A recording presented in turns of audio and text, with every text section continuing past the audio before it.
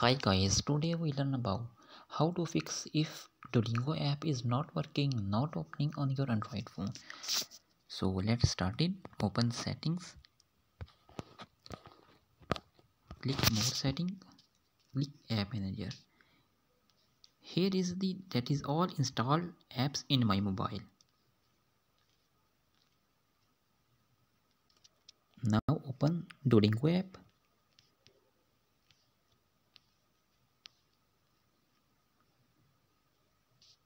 click permissions and allow all the permissions. After that just restart your mobile. After restarting your mobile Duolingo app is working properly. If it is not working then you click storage clear cache and clear data. After that just just restart your mobile. After restarting your mobile Duolingo app is working properly on your Android phone.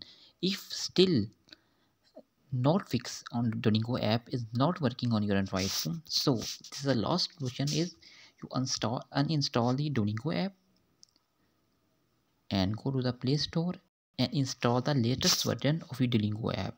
So this is how you can solve your problem. Thanks for watching.